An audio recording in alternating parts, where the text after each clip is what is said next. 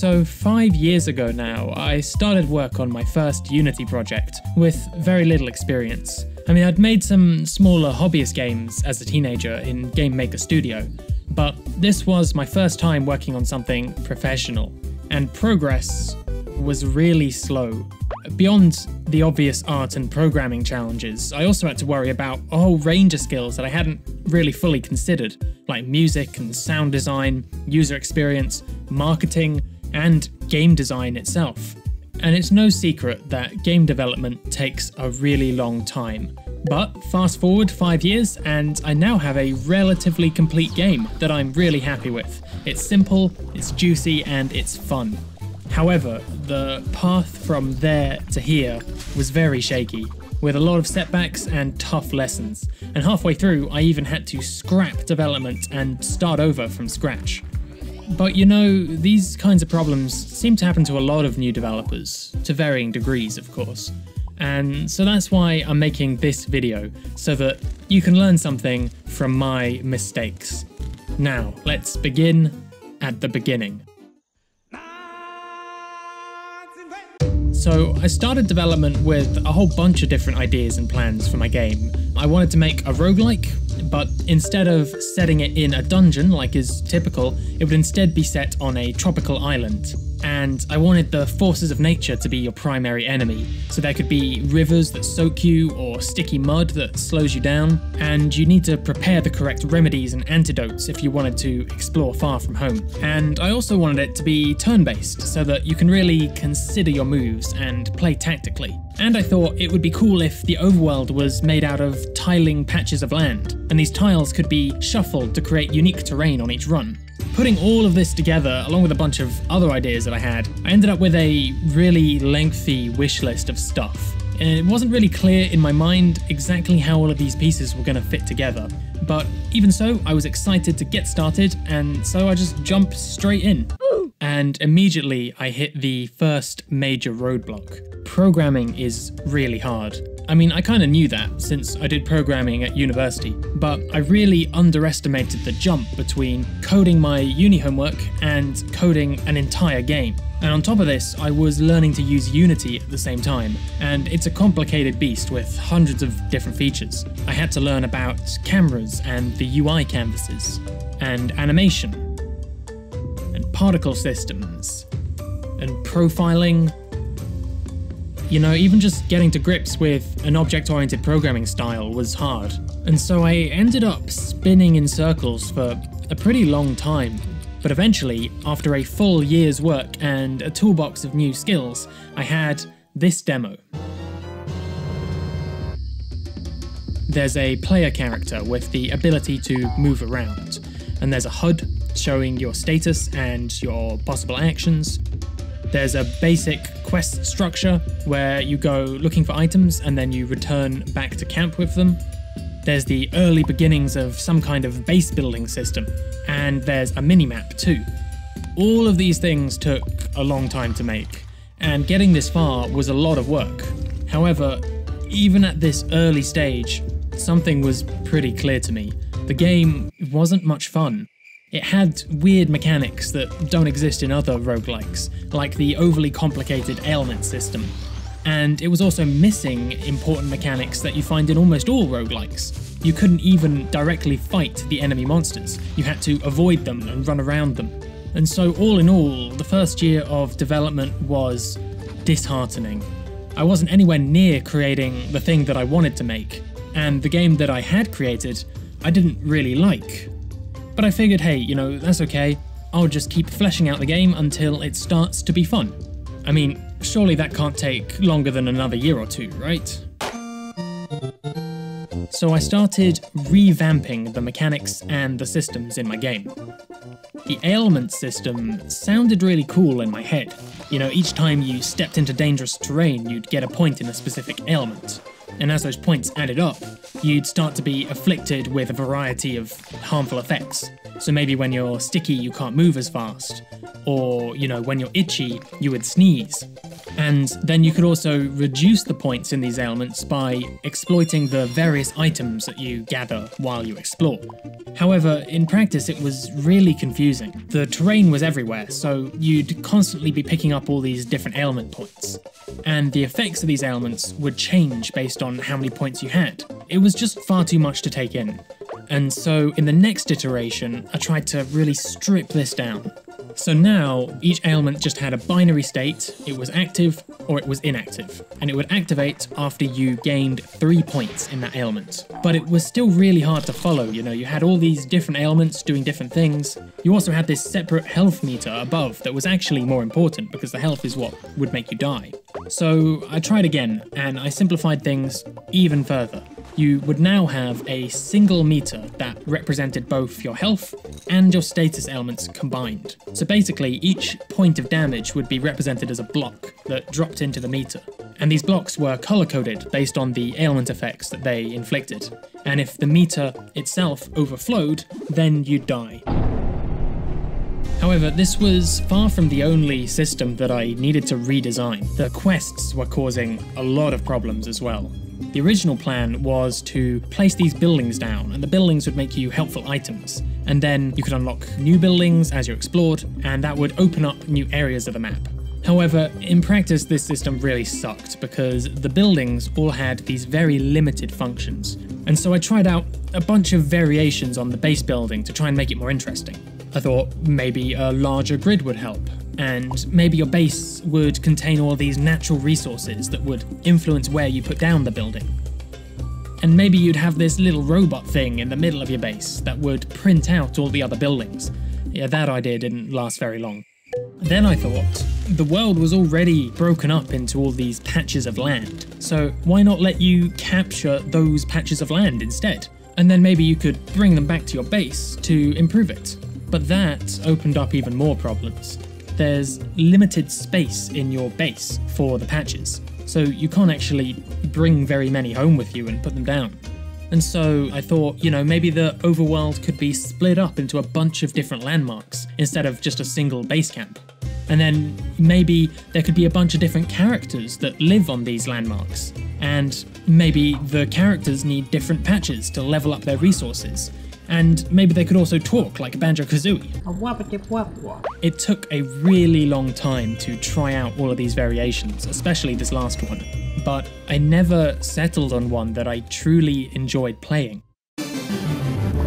And the combat system was potentially causing even bigger problems. The original idea here was to encourage tactical positioning, so you would skillfully maneuver around the enemy attacks and, and pass through the jungle that way. However, since you could only move a couple of spaces at a time, you never actually had much of a chance to be skillful. I tried to fix this by giving the player a bunch of extra moves, like the ability to swap places with a monster, or the ability to leapfrog over a monster's head.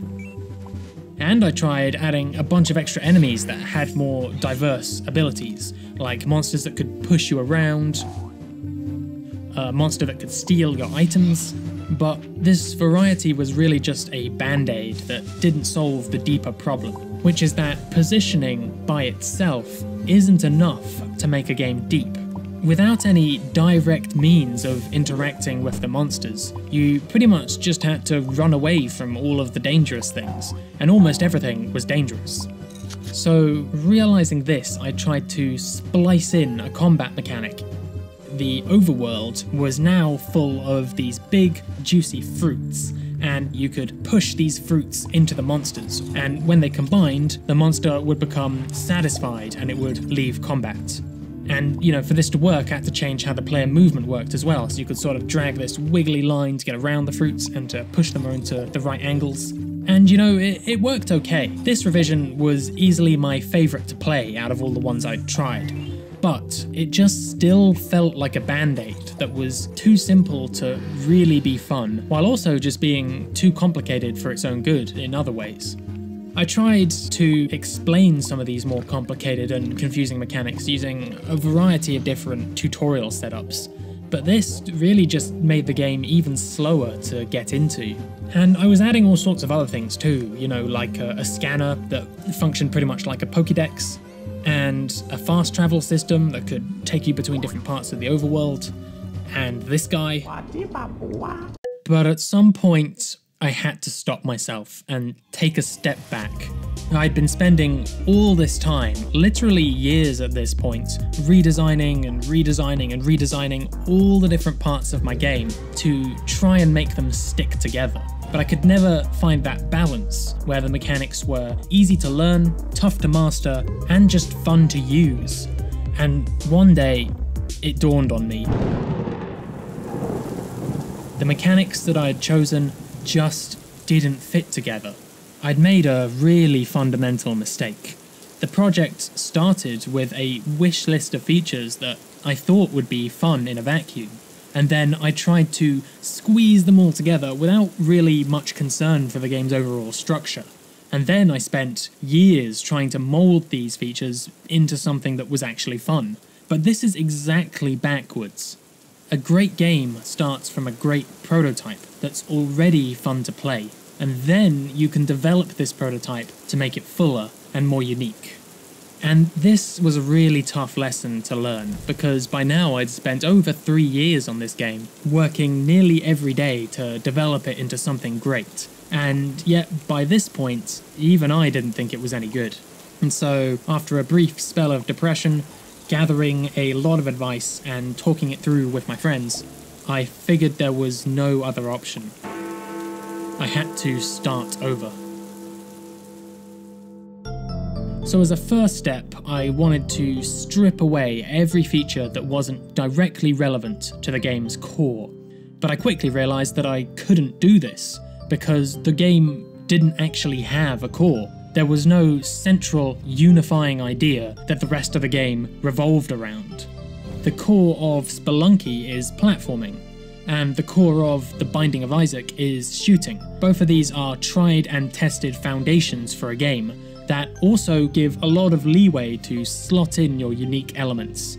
But instead of this, what I had was a patchwork mess of different, kind of unrelated features and none of them were really central to the design. And this is why the gameplay just never felt cohesive. So I went back to the drawing board and I started playing a bunch of other games in the genre, trying to figure out what worked and what actually was making them fun. And in the end, I settled on a similar approach to Enter the Gungeon or The Binding of Isaac, where you're in a room, enemies will shoot a lot of bullets at you, and you need to dodge them all, and you need to shoot back. It's a simple and a sturdy foundation for a game. Of course, every game needs a unique twist of its own, and so I took stock of everything that I'd been making over the past three years, just to see if I could maybe salvage any of it. And what I ended up deciding was that I had a bunch of different monster designs, many of which were pretty cute and had quite a bit of personality. And I'd also written a library that could automatically animate any new monsters that I might want to add. And so, after mulling it all over, one idea for a twist just really leapt out at me. I'd give the player a lasso that lets them mount and ride all of the game's monsters, and each monster would be a power up that gives you a unique trio of offensive and defensive skills. And so, finally, my game had a hook Patch Quest is a twin stick action roguelike where you can mount and ride all of the enemies. By this point, development hadn't even restarted, but already I'd planned out a simple gameplay core, a unique twist, and I had an easy to explain hook. And that's three essential things that had previously been totally missing from my game. And so, using that as my encouragement, I took the plunge. To start off, I took my favourite monsters from the old version and I redesigned some of them for the new genre. This meant making them stouter and rounder so that they would just fit better in their collision boxes. And since these monsters are now the focal point of the game, I really wanted to make sure that they all had a strong personality. I also had to make the player much shorter so that they'd fit inside of a circular collider as well. Next, I hashed out the basic mechanics. That's moving and shooting and dodging. Then I added the key twist, lassoing and riding the monsters. This mechanic also meant that I had to be careful with how I designed the monster skills, since they needed to be usable by both monsters and the player. And by this point, just a month into the reboot, I already had something that was more fun than the game I threw away. That's the power of building a game on a solid foundation. And from here, things went really fast. I added a bunch more monsters with new skills. Since these monsters are both the enemies and your power-ups, it was important to design lots of them. Then I added a new feature to your blaster. After picking up a bunch of different ammo types, you could now blend those ammo types together to create a combined ammo smoothie with all of the effects. This mechanic was fun, but it was also really powerful, so it needed a few revisions to really balance it properly. Then, to bring back some of the free roaming aspects of the game, I expanded the overworld into this 2D maze like structure. And of course, this meant that I had to make this improved minimap. The old minimap was made out of a lot of different individual sprites, which is very inefficient. So this time around, I made it out of a series of custom meshes created programmatically on the fly. So that was a bit of a learning curve as well. Then I worked on the terraforming mechanics, where you would be able to pick up patches and plant them elsewhere. At first, I added only a handful of spots on the map where you could stick down a patch. However, this was a bit too restrictive, and so I added these soil plots that can appear in almost any room on the map. And then you could plant just a single item in these plots, and then they would give you a specific bonus when you were near that area.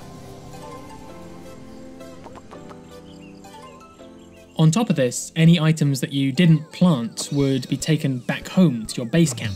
And learning from the past, I decided to make the base building very simple. You just had to group your plants together according to their themes, and then you would earn some small bonuses at the start of your runs. And I link this into the upgrade system as well. So whenever you capture new plants, you would gain experience, and each time you ranked up, you would then pick a perk from this new perks grid.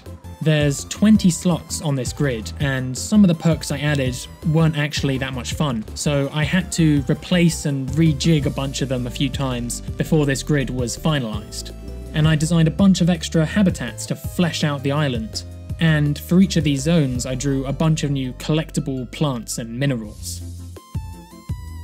And to cap things off, I added four dungeons to the map that contained boss battles. And I made the bosses by taking the existing monsters and creating jumbo variants of them. They get a bunch of new attacks and abilities, including the power to call in a swarm of children, but they'd also get that monster's base abilities. And so this was a quick way to add a lot of boss variety. And throughout this process, I was still hitting dead ends from time to time, where I had to stop and redesign a system that wasn't working how I'd hoped it would. But the difference is that this time I had a clear destination in mind, and so I could tell whether a redesign had moved me closer or further away from my goal. And that brings us up to today, five years after I started. I'm super happy with where Patch Quest is at this point. It's way simpler, it looks great, and it's a lot of fun to play around with. And there's actually a free beta linked in the comments below if you want to try it out. But my journey to this point was extremely rocky, with a lot of setbacks, stress, and heartbreak. And a lot of this could have been avoided if I just absorbed one key idea which is that you need to start development with a prototype, and you need to make sure that this prototype is fun before you continue with fleshing it out. And one of the best ways to do this is to take an already popular game and put a twist on it. For example, make Super Mario, but you can stick to walls like a gecko. Or you could make Factorio, but instead of conveyor belts, you have an army of a million ants. Most games can actually be described this way, as a twist on something that came before. And from this simple hook, you can then build a proof of concept prototype, or maybe even a handful of prototypes. And you've got to show these prototypes to as many people as you possibly can. You know, friends and family help, but really you need to be showing random dudes on the internet or even better, show random game designers on the internet. And only after a lot of people are genuinely enjoying playing your prototype should you think about fleshing it out into a full game. At the very least, you definitely don't want to copy what I did, which was come up with a big wish list of disjointed features without any clear idea of how they were all going to fit together, and then try and just duct tape the whole thing into the shape of a game. And looking back, if I had spent that first year just prototyping, trying out a bunch of ideas before settling on a plan forwards, then maybe I could have avoided wasting the second and third years of development.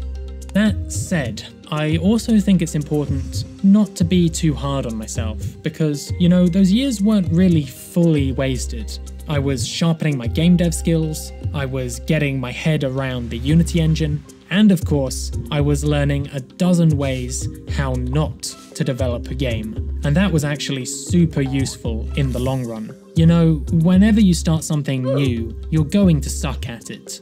But it's through practice and through making mistakes that you gradually learn the right ways to do things. And so, in my opinion, if you want to make a video game, you should just do it. Get started, jump in, and start learning the ropes. Because nobody knows how to do all of this stuff until they try. And if my patchy journey can result in a game that I'm truly proud of, then yours can too. So yeah, I hope you got something useful out of this video. If you want to learn more about Patch Quest, I've been running a monthly video devlog ever since development was rebooted. And you can check out that series to see in more detail all of the steps and phases the game has been through in the last year or two. Also, Patch Quest will be coming to Steam this winter, so be sure to subscribe if you want to stay in the loop, and of course you can also wishlist the game. But anyway, that's all I've got for now, and as always, thanks for watching.